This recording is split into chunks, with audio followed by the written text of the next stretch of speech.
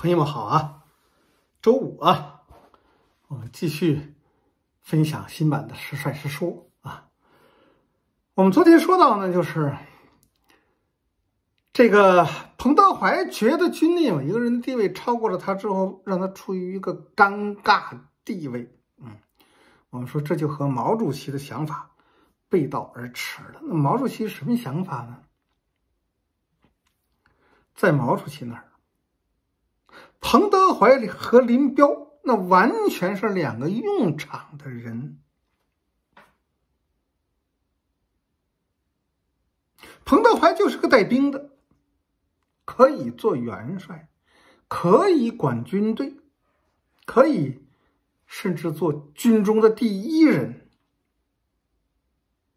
但是，在毛主席这儿，毛主席再清楚不过了，就是彭德怀。他不是一个成熟的政治家，不能让他搞政治，他也搞不好政治。彭德怀这样的人搞政治，最后就把自己给治了，这是唯一可能的结果。这也被其后的历史所证明了。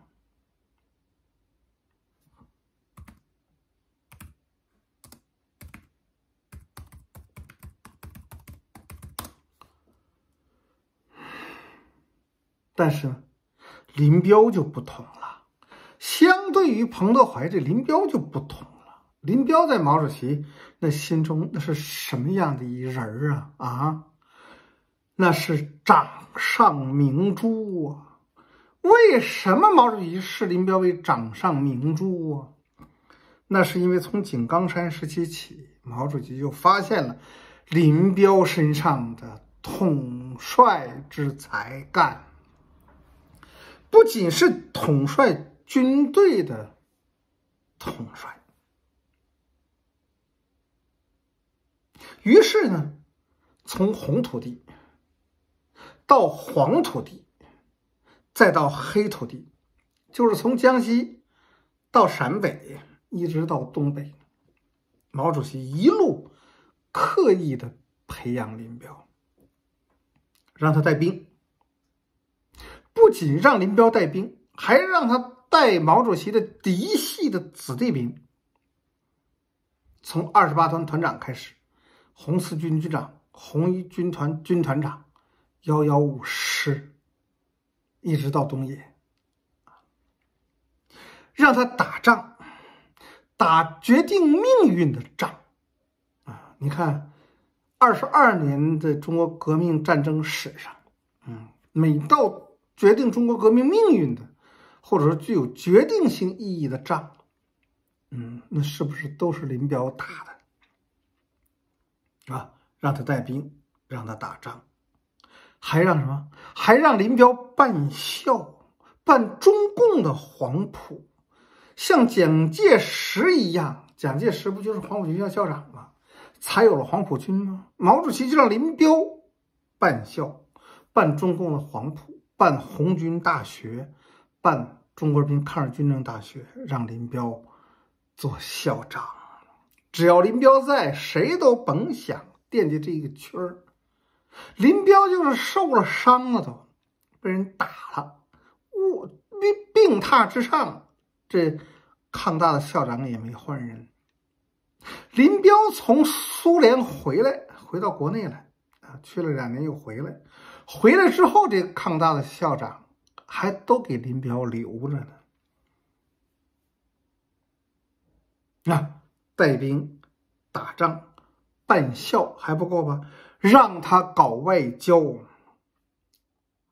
四二年回国了之后，蒋介石几次三番请毛主席到重庆去跟蒋介石说：“你过来，我跟你聊聊，我面谈面谈。”啊，然后中共出于安全各方面的考虑，不让毛主席去，怎么办呢？最后了，盛情之下，最后就让林彪作为自己的代表去重庆和蒋介石谈判。你看看，作为中共中央主席毛泽东的代表的林彪，特命全权代表的林彪，在重庆跟蒋介石谈判的时候，连他的老师周恩来，连他在中共党内的上级的周恩来，都得给林师长跑龙套。为什么？因为他不是林师长，他是中共中央主席毛泽东的特命全权代表，他是代表毛主席，所以周恩来都得给他跑龙套。然后在整个谈判的过程中呢，甘当配角。让他带兵，让他打仗，让他办校，让他搞外交，还不够，还让林彪搞党务，让他做中共中央党校的副校长。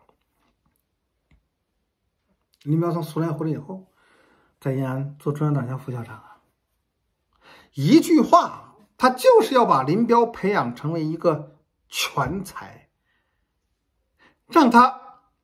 最后成为真正的统帅。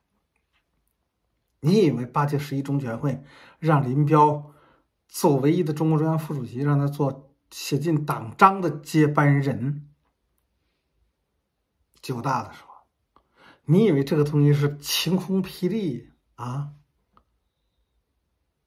是忽然才有的想法？早了去了。三十年代开始，毛主席就觉得林彪未来可能就是作为自己的最合格的接班人。早，毛主席就发现了林彪身上的啊，这个党政军民学德智体美劳 啊，全方面综合发展的这样的一个统帅之才的才干。嗯，直到抗战胜利以后。中共第一时间布局东北，嗯，那么开始的时候呢，刘少奇有些干扰，马少奇那时候在重庆，啊，刘少奇有些干扰啊，然后就派自己的小兄弟彭真去做东北局的书记，结果呢，彭真的格局不够，能力不够，是吧？啊，修行不够，嗯，反正都不够，啊，用林彪的话说，这个彭真是唱花脸的。做不了一把手啊，是吧？啊啊，一个唱花脸的，一个净角怎么可能做这个第一主角呢？是不是啊？嗯。于是呢，围绕着东北党政领导权，彭真和林彪开始斗法。那么，随着东北局势的日益危急，回到延安的毛主席发现了东北的问题，也发现了东北问题的症结所在。所以啊，毛主席审时度势，毅然拍板，彭真政改副，林彪上大位，成了东北王。在林彪的统一的领导之下，实现了东北的党政军的一元化领导。一个中央委员按林彪往中间这么一坐，哈尔滨的大院子。啊，以前哈尔滨那种老院子，就是白俄那时候住那些院子，在哈尔滨的南岗啊，特别多，铁路局附近呐什么的，哈哈，特别多那种，啊，一个大黄房子，啊，屋顶高高的，然后呢，这个前面就一大院子，种花种草，葡萄藤、葡萄架什么的啊，呃，东北那种，就这种大院子里头，嗯。八仙桌一摆，小林彪啊，中间这么一坐，下边一哨他妈的这些副手们，两厢，这这这这这这排列，其中四个政治局委员给他中央委员的林彪做副手，还亦步亦趋，哈哈哈哈点头哈腰。彭真七大政治局委员，高岗七大政治局委员。这个陈云，七大政治局委员；张闻天，七大政治局委员。从党内地位都是林彪的领导上级。你看毛主席这毛主席这用人术，你看看毛主席的这个人力资源管理，那就是艺术啊，那就是艺术。毛主席的这个领导就是艺术化的领导。这这太经典的这个案例了，这都是啊，那么呢，结果怎么样？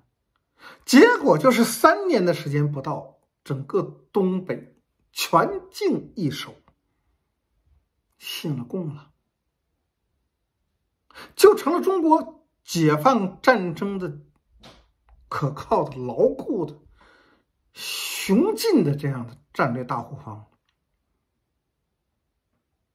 你想想，东北易手了之后，林彪拿下了全东北之后，那中国解放战争的历史进程。怎么能那么快呀？粟裕打得好是一方面，还有什么？林彪打得更好，东北都是共产党的了。打太原，徐向前领着十八兵团打了他多长时间？几个月打不下来啊！最后了，七届二中全会以后，徐向前旧疾复发，跟中央请求说，能不能让彭总回西北的路上到太原去，把这个画上句号了？太原拿下来得了，中央批准了。彭德怀去了就能拿下太原吗？啊，彭德怀是跟中央请示之后，毛主席一声令下，林彪是派出了一个重炮师，东野炮纵派了一个师到太原前线，全是幺零五口径以上的重炮，才把太原城阎锡山经营了几十年的太原城给它轰开。啊，在其后的解放战争历史上，到处都有东北的这个、这个、这个、这个技术能力，到处都有东北的这个武器装备，到处都有东北的啊决定性的贡献，都是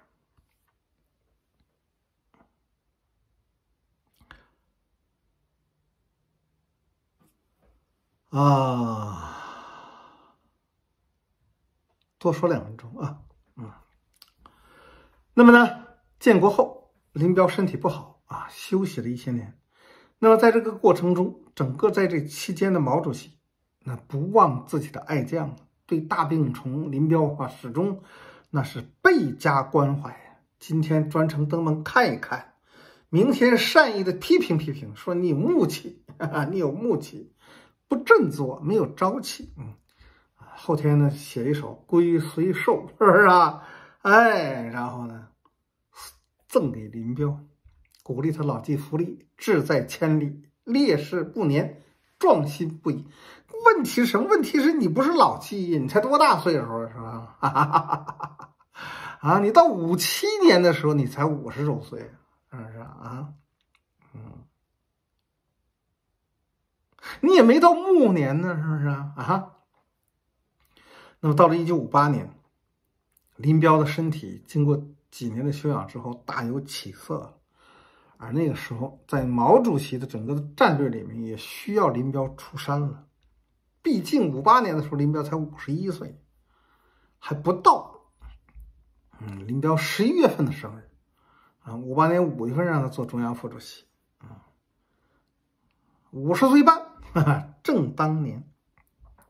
于是毛主席才有了这样的动议，让林彪进常委做中央副主席。但是这彭德怀就受不了了，是不是啊？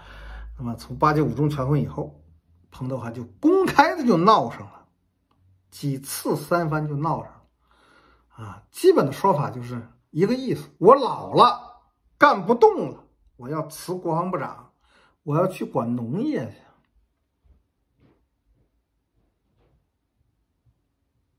分享到这儿，谢谢大家。